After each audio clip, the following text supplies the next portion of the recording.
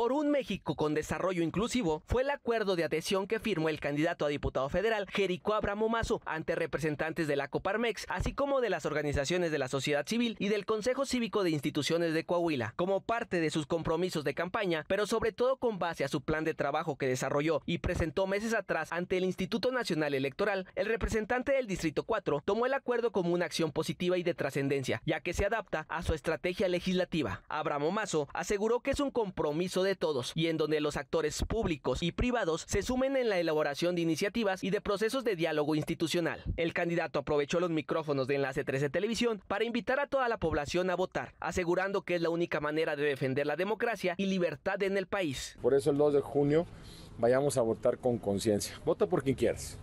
Vota por las propuestas que te convencieron. Pero siempre que estés en la, en la casilla, tú sola, tú solo, reflexiona en quién ya tiene en su actuar hechos demostrados.